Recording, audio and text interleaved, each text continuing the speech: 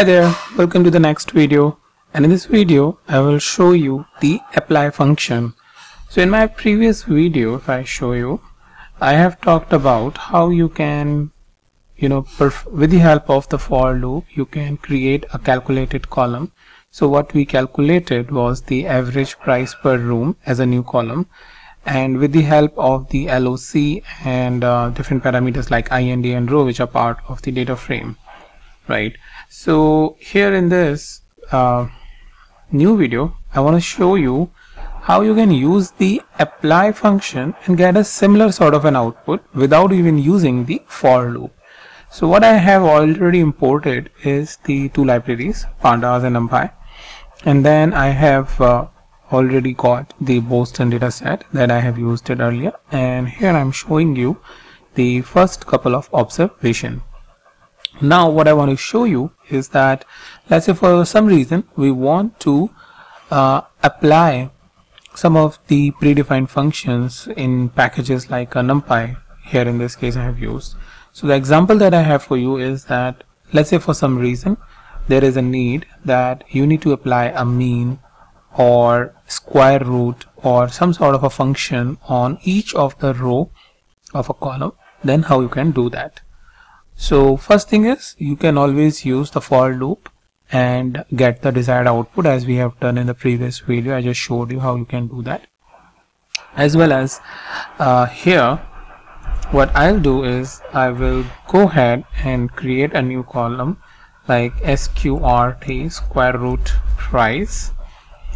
And uh, I will use the Boston and call the price dot apply and within the apply I will say np numpy np dot sqrt right? So once I execute that it should return no issue and execute perfectly fine. So what we are saying that create the new column in Boston dataset with the name sqrt underscore price uh, by applying the square root on each of the value of price column.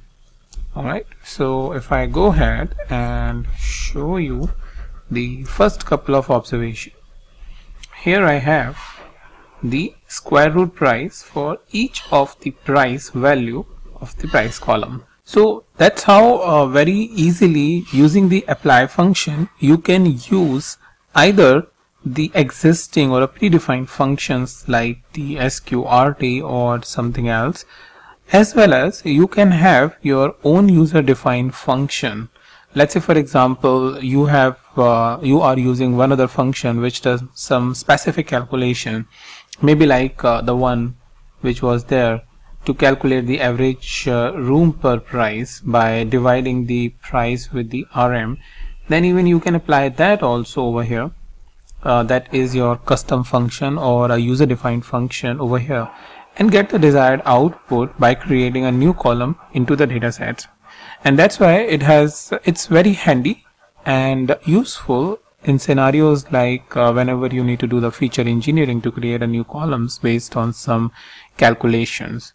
Similarly you can uh, have the even the if you are using the string data and all you can have a different type of uh, predefined string uh, like str or capitalize count you know find and all of those things which which basically helps you to get the output. Probably find will not work but the count and capitalize and all of those which actually returns just one output should should work fine. So you can experiment with this apply function on your uh, either textual data or on your numerical data and get the output in the desired format. Well that's pretty much all for it uh, with the apply function and I'll meet you in the new video the new topic